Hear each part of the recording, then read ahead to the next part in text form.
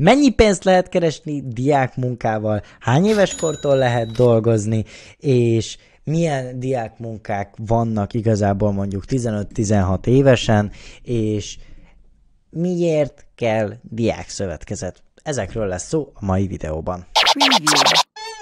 Első téma, hány éves kortól lehet dolgozni? Hivatalosan Magyarországon 15 éves korodtól szülői beleegyezése, hogyha elmész egy diákszövetkezethez, és olyan munkát választasz, ahol már 15 évesen tudsz dolgozni, akkor iskolai szünetekben, azaz nyári szünet, téli szünet, őszi szünet, nem tudom, tavaszi szünet, ilyenkor tudsz menni dolgozni. 16 éves korodat betöltöd, ugye már nem vagy tanköteles, és ezáltal már dolgozhatsz úgymond bármikor, szintén a szülőnek az aláírása az még mindig kell hozzá, ha pedig betöltötted a 18. életévedet, akkor már tudsz 12 órázni, és nem is kell természetesen a szülői aláírás. 16 évesen a maximum ledolgozható órák száma az egy nap 8 óra. 8 óra ha most szeretnél diákmunkára menni, akkor elmondom, hogy mik ezeknek a lépései. Először is keres egy diákszövetkezetet, a videó leírásában ott lesznek különböző diákszövetkezetek, ezekhez igazából el kell menni, vagy elég csak az oldalukra regisztrálni. Mondtam, hogy tudod, hogy nincs papírja, tényleg nem tudok papírt adni.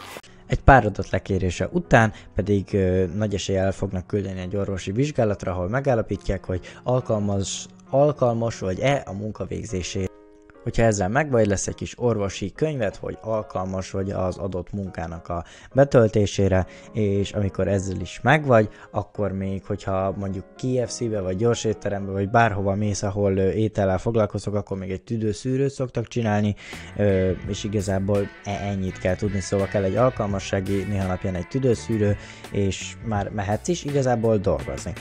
A diákszövetkezetek abban segítenek, hogy időben megkapd a pénzedet, a kifizetésedet, és hogy ne tudjál 12 órázni 16 évesen, és ne tudjanak kihasználni, és hogyha bármilyen problémád van az adott munkahelyen, akkor azt a diákszövetkezetnek tudod jelezni, hogyha a főnökség nem reagált rá az adott munkahelyen.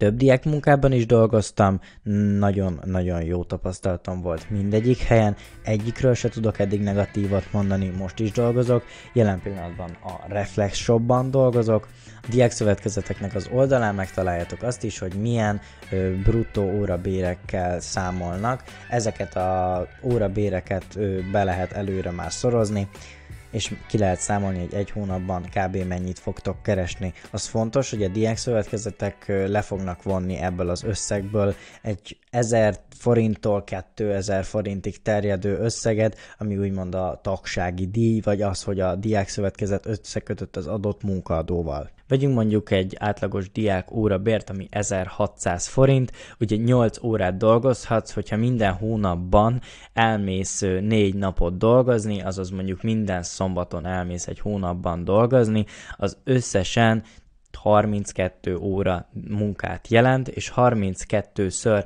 1600 forint, az 51.200 forint. És ezt miből számoltak ki? Matematikusan? Vagy miből számoltak? Ezt ne vicceljem. Hogyha viszont minden szombaton és vasárnap is mész dolgozni, vagy tudsz menni dolgozni, ne viccelj. akkor az már 100 2400 forintot jelent. Az első fizetésnél számítsatok arra, hogy le fogják vonni az orvosi vizsgálatnak az árát, plusz még az első tagság mellé leszoktak vonni a hiszem egy 400 forintos személyi jövedelem adó, de ebben nem vagyok 100%-ig biztos, szóval egy ilyen 3-4 ezer forintot vonjatok le a végső összegből, de akkor is 100 ezer forint körül vagytok egy hónapban, és összesen 8 napot dolgoztatok. Fantasztikus! Ha most kerestek először diákmunkákat, akkor egy pár dolgot nagyon fontos megnézni. Például amikor fölmentek a diákszövetkezetnek az oldalára, nézzétek meg, hogy hiteles, mert van egy pár ö, kamu diákszövetkezet, ö, akik csak így feltüntetgetnek egy-két munkát, meg mégse rajtuk keresztül, hanem ők csak hirdetik, meg ilyenek, úgyhogy erre figyelni kell, hogy nem hirdetőfelületet keresünk, hanem diákszövetkezetet keresünk.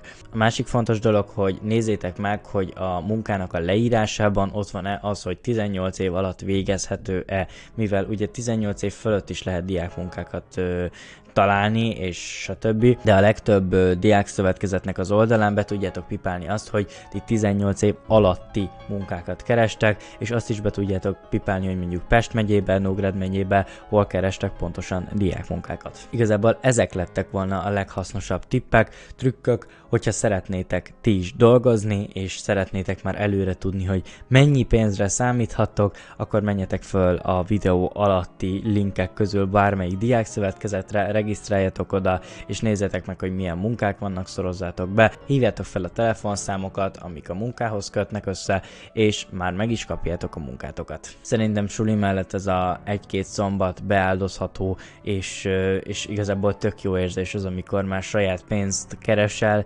és mondjuk saját pénzből veszel valamit, és én személy szerint sokkal jobban megbecsülöm, például a GBL-t is saját pénzből vettem, ha nem láttad még a videót, akkor ide kattintva meg tudod venni, venni, nézni, és, és azt is saját pénzemből vettem, és azért az egy nagy kiadás volt, de nagyon-nagyon jó érzés, és sokkal jobban megbecsülöm, mint bármilyen más. Helyen két hetes kifizetés van, vagy havi kifizetés van, úgyhogy igazából ezeket így tudjátok számolni. Egy dologra nagyon-nagyon kell vigyázni, amit én is sokszor elcseszek, hogy megjön a fizetés, és egy három nap alatt sikerül elkölteni. Ja. Nem, tehát és akkor utána jön az, hogy 24 órát túléljünk Budapesten. Ja. Ha azt a videót se láttad, akkor ide kattint. Na jó, elég a videó promózgatásból. Ennyi lett volna ez a videó. Vigyázzatok magatokra, ne költsétek el az összes pénzeteket, és remélem, hogy tudtam nektek segíteni, tudtam elég motivációt adni, és következő videóban találkozunk, addig is vigyázzatok magatokra. Sziasztok! Matematikusan, vagy miből számolsz?